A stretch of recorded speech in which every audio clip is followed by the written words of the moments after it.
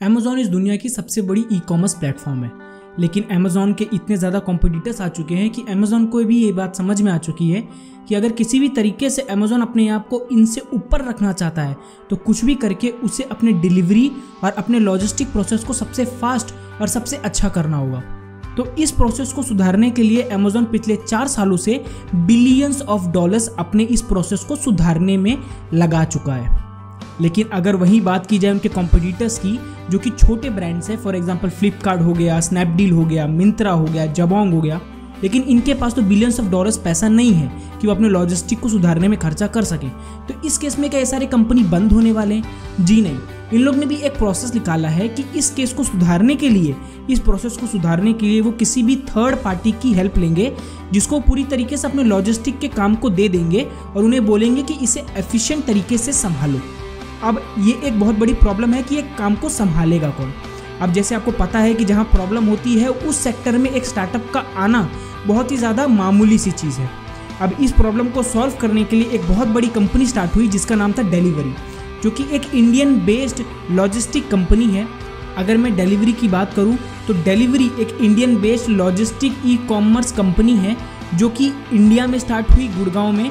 2011 में ये स्टैब्लिश हुई और ये फ़िलहाल पूरे इंडिया की लॉजिस्टिक ई कॉमर्स सेक्टर में डोमिनेटिंग कंपनी है।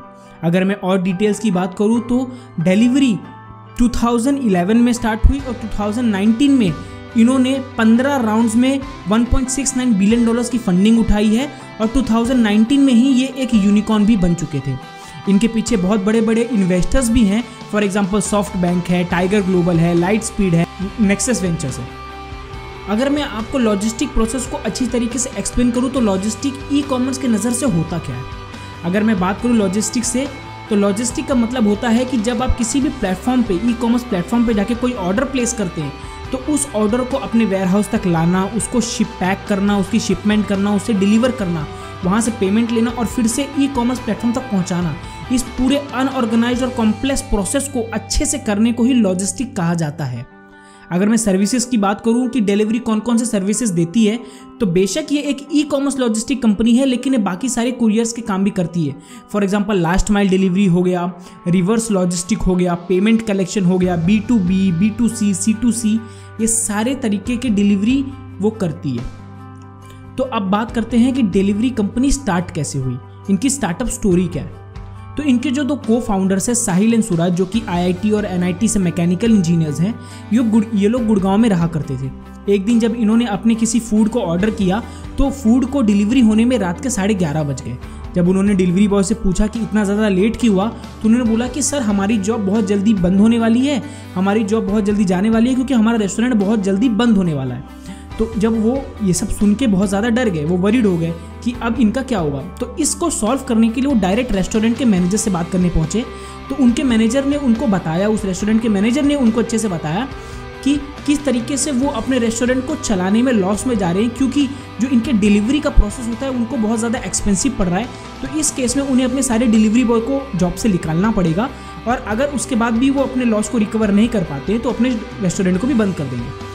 तो इस केस में साहिल और सुराज ने उसी टाइम ऑन स्पॉट डिसीज़न बनाया कि उस सारे लोगों को ऑन स्पॉट हायर करेंगे जितने भी डिलीवरी बॉय हैं। और वहीं से शुरुआत होती है डिलीवरी कंपनी की।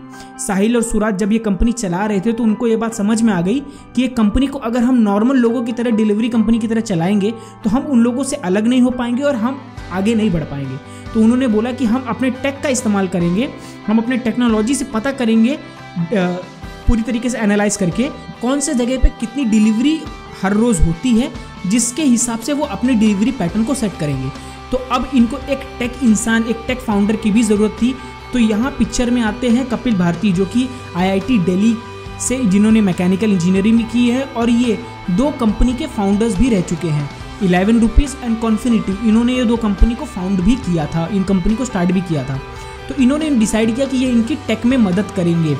अब इन्हीं की हेल्प करने के लिए एक और इंसान आए जिनका नाम है भावेश मंगलानी, जो कि एक प्रोडक्ट मैनेजर रह चुके थे Reliance communication and Idea cellular limited में।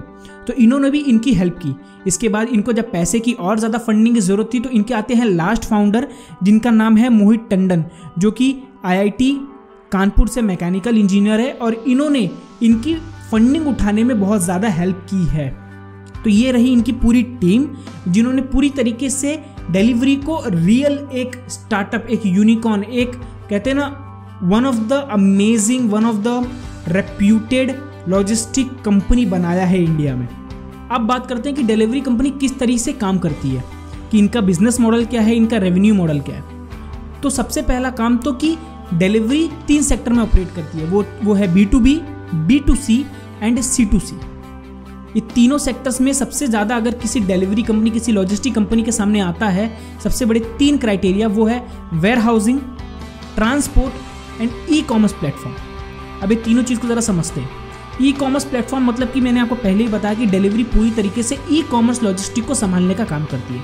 तो उनके हिसाब से, उनके साथ पार्टनरशिप करना, उनका पूरा प्रोसेस ये पूरा एक अलग से ही चलता है, एक अलग ब्रांच में ही चलता है, जिसे हम लोग ई कॉमर्स ब्रांच बोलते हैं। अब बचते हैं दो ब्रांच सबसे पहला वेयर हाउसिंग अब वेयर हाउसिंग इनके खुद के हैं। चालीस प्लस सिटीज़ में इनके खुद के वेयर हाउस हैं। इन्होंने अपने वेयर हाउस क्यों बनाए? क्योंकि अगर ये किसी थर्ड पार्टी या थर्ड पार्टी वेंडर से अपने उनके वेयर हाउसेज का इस्तेमाल करते हो तो अगर कुछ भी प्रॉब्लम आ जाती तो वो लोग, उन लोग के लिए ऑपरेट करना बहुत ज़्यादा डिफ़िकल्ट हो जाता है। इन्होंने खुद के वेयर हाउसेज बनाना स्टार्ट किए। फ़िलहाल इनके 40 से ज़्यादा सिटीज़ में खुद के वेयर हाउसेज हैं। तो अगर बात करें इनके ट्रांसपोर्टेशन सर्विस की तो फ़िलहाल ये उन्नीस हज़ार प्लस पिन कोड्स में अपनी डिलीवरी देते हैं। और 2500 प्लस मतलब 2500 प्लस सिटीज़ में अपने डिलीवरी के काम को करते हैं। अब बढ़ते हैं कि ये रेवेन्यू किस तरह कमाते हैं। इनके ना तो कोई पेड चार्जेस है, ना तो इनके जैसे प्राइम मेंबरशिप जैसा कोई फॉर्मूला है। इनका डिलीवरी का एक सिंपल सा लॉजिक है कि ये पर यूनिट डिलीवरी पे अपना पैसा चार्ज करते हैं। अब जब ये पर यूनिट डिलीवरी पे पैसा चार्ज करते हैं तो ये प्रॉफिटेबल है। अगर देखेंगे तो इनके जो कंपैरेटिवली लॉस थे इतने सालों से बहुत ज़्यादा कम हो चुके हैं और अब ये प्रॉफिट की तरफ़ बढ़ने की कोशिश कर रहे हैं और ऑलमोस्ट प्रॉफिट टेबल कंपनी आप इसको मान सकते हैं। अब इनके पास दो सबसे बड़े और चैलेंजेस थे ऑपरेट करते समय, वो था ओमनी चैनल ये बहुत सारे सेक्टर्स में डील करते हैं। एक पूरा ई कॉमर्स का सेक्टर अलग काम करता है। फिर दूसरे लोगों के साथ ये अलग अलग डिलीवरी करते हैं कोरियर डिलीवरी भी करते हैं। तो इनको पूरी तरीके से चैनलाइज करना एक बहुत ज़्यादा इंपॉर्टेंट काम था उन लोग के लिए। और सेकेंड ये अपने जो भी काम करते हैं, वो सारे डेटा के थ्रू करते हैं कि जो भी इनको डेटा मिलता है, जो कि इनके पास डेटा होता है, उसके थ्रू जो उनको एनालिसिस मिलता है, उसके थ्रू अपने सारे एक्शंस लेते हैं। ये हो गया उनकी पूरी तरीके से बिज़नेस मॉडल और रेवेन्यू मॉडल अब बात करते हैं कि डिलीवरी कंपनी इतनी ज़्यादा सक्सेसफुल क्यों है? बाकी सारे कॉम्पिटिटर से डिलीवरी कंपनी इतनी ज़्यादा अच्छी और इतनी ज़्यादा प्रॉफिटेबल क्यों है? तो सबसे पहला law of leadership delivery company सबसे पहली ऐसी कंपनी थी जिन्होंने ई कॉमर्स में लॉजिस्टिक को स्टैब्लिश किया ई कॉमर्स के लॉजिस्टिक को संभालने का बेड़ा उठाया। इंडस्ट्री की समझ इनको बहुत ज़्यादा थी। जब 2011 में स्टार्ट हुआ था, इनको पता था कि फ़िलहाल इस पूरे इंडस्ट्री की वैल्यूएशन 160 बिलियन डॉलर्स है।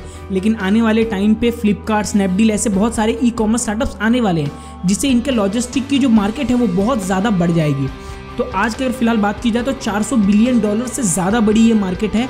आज बड़ी बड़ी ई कॉमर्स प्लेटफॉर्म अपने लॉजिस्टिक को सुधारने के लिए बिलियंस ऑफ़ डॉलर्स खर्चा करती है। तो सबसे पहले तो इनको लॉ ऑफ़ लीडरशिप समझ में आ गई। इन्होंने अपनी इंडस्ट्री को बहुत अच्छे तरीके से एनालाइज कर लिया और समझ लिया। तो थर्ड आता है इनका विजन इनका विजन बहुत ज़्यादा क्लियर था कि ये पूरी तरीके से ई कॉमर्स के लॉजिस्टिक को संभालने में सबसे ज़्यादा ध्यान लगाएँगे। वो कैसे सुधारेंगे? सबसे पहला अपने डेटा का एनालिसिस करके टेक्नोलॉजी का इस्तेमाल करके वो अपने इसको सुधारने की कोशिश करेंगे। और लास्ट वन कि ये अपने हाईटेक इंफ्रास्ट्रक्चर और हाईटेक स्पीड के हिसाब से लॉजिस्टिक को ऑपरेट करेंगे, जिससे ई कॉमर्स प्लेटफॉर्म को अपने लॉजिस्टिक को सुधारने में बहुत बड़ी हेल्प करेंगे। तो ये इनका विजन था। इनकी टैगलाइन भी इनके विजन से मैच करती है। ये सब लोग कहते हैं big world big world big world ये बोलते हैं for delivery the world is very small ये इनकी टैगलाइन है। और चौथा जो सबसे ज़्यादा इंपॉर्टेंट रीज़न है जिससे डिलीवरी कंपनी दूसरे लॉजिस्टिक कंपनी से सबसे आगे है, वो है इनके एक्विजिशंस इन्होंने तीन कंपनी का एक्वायर किया सबसे पहला ट्रांजिशनल रोबोटिक जो कि एक कैलिफ़ोर्निया बेस्ड लॉजिस्टिक स्टार्टअप है, जो कि पूरी तरीके से ड्रोन की मदद से अपने डिलीवरी को ऑपरेट करने की कोशिश करती है. सेकंड आता है, वो है स्पॉन्टन लॉजिस्टिक्स जो कि एक बेंगलुरु बेस्ड स्टार्टअप है. ये इस स्टार्टअप की खासियत क्या है कि ये थ्रू रोड सबसे फास्टेस्ट डिलीवरी करने में एक्सपर्ट है. और थर्ड है प्राइमा सेलर अब प्राइमा सेलर क्या काम करती है? प्राइमा सेलर का एक ही काम है कि वो इनके जो डेटा बेस है, इनके जो टेक्नोलॉजी सेक्टर है पूरी तरीके से उसको संभालने में इनकी हेल्प करती है। तो इनके जो तीन एक्विजिशन थे, बहुत ही ज़्यादा हार्ड कोर रोल प्ले करते हैं इनके सक्सेसफुल होने के रीजन्स में।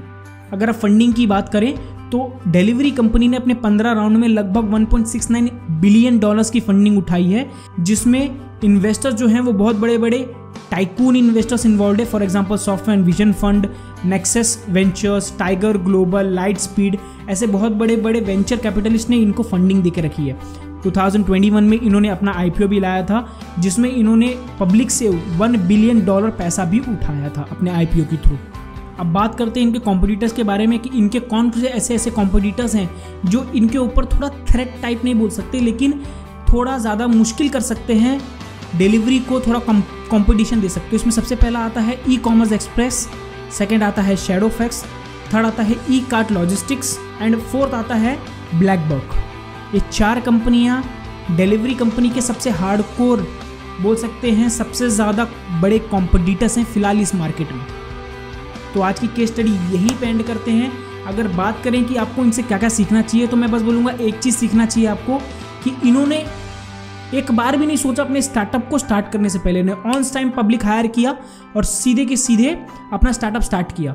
इन्होंने कोई भी डिसीज़न लेने से पहले हेजिटेट नहीं किया। इन्होंने कुछ भी चार पाँच चीज़ें सोची नहीं। इनको लगा कि कंपनी सक्सेसफुल हो सकती है और इन्होंने स्टार्ट कर दी। तो मैं यही बोलूँगा कि इनसे अगर आपको कोई भी चीज़ सीखनी है तो वो है courage make the decision and do whatever you want to make your decision right. See you in the next video. Sayonara.